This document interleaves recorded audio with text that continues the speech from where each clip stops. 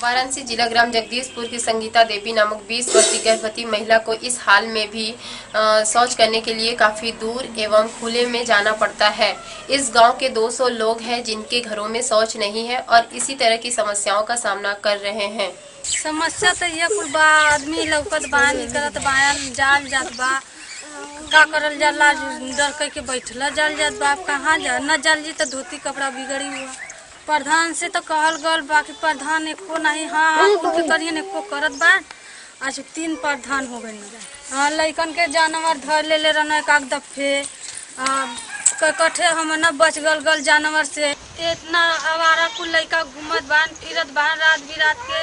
जहाँ लड़की जात पाइन तो सहाँ लड़की लेके जाल जात बा संगे में। हम सब मजदूरी करते हैं हम सब मजदूरी करते हैं और कमाते खाते हैं। हमारे पास इतना इनकम नहीं है कि हम अपने घर का शौचालय बनवा सकें या रहने के लिए झोपड़ी लगा सके। किसी तरीके से करते हैं और खाते हैं।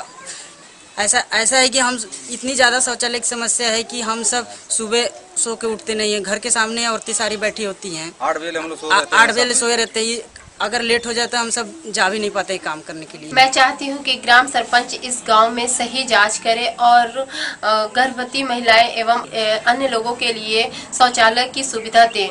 इसमें आप हमारी मदद कर सकते हैं। ग्राम सरपंच भैया लाल को फ़ोन करके। जिनका नंबर है double eight seven four zero one four zero four four. मैं शबनम वाराणसी ज़िले के उत्तर प्रदेश से, इंडिया अनहर्ड के लिए।